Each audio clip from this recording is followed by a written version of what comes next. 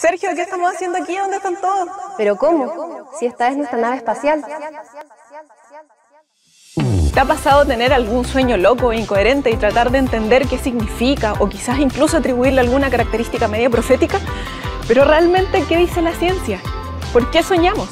La verdad aún no es muy claro, pero existen algunas teorías que nos podrían ayudar a despejar esta incógnita.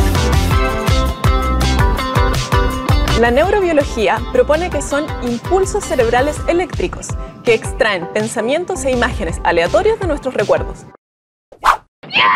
Y luego las personas tratamos de construir una historia a partir de ellas, en un intento natural por darle sentido a todas esas imágenes. Sin embargo, existe cierta evidencia de que también otros mamíferos tendrían la capacidad de soñar.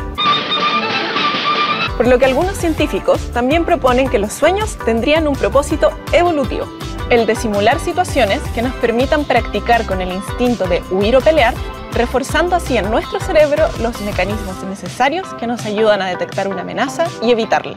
En la última década, la ciencia ha encontrado evidencia de que los mecanismos neurofisiológicos involucrados mientras soñamos son los mismos que empleamos cuando construimos y recuperamos recuerdos estando despiertos. Cuando soñamos estamos conscientes, pero de una manera algo diferente a cuando estamos despiertos. Y eso se debe a los neurotransmisores que libera nuestro cerebro. Estando despiertos se liberan los neurotransmisores acetilcolina, noradrenalina y serotonina.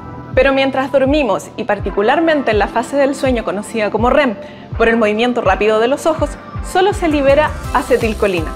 Este neurotransmisor puede desencadenar la actividad entre el tálamo en la parte profunda del cerebro y la corteza cerebral, que está en la parte más externa, y es lo que nos hace conscientes. Pero sin la serotonina y la noradrenalina, en realidad no estamos despiertos, sino que atrapados en la conciencia del sueño. En este estado podemos ver paisajes y escenarios muy vívidos, generados en la corteza visual. Incluso las áreas del cerebro que procesan las emociones también están muy activas. Pero el área del cerebro asociada al pensamiento lógico está desactivada, por lo que nuestros sueños pueden volverse hiperemocionales e ilógicos. Lo único claro es que dormir y soñar son procesos mucho más activos de lo que pensábamos.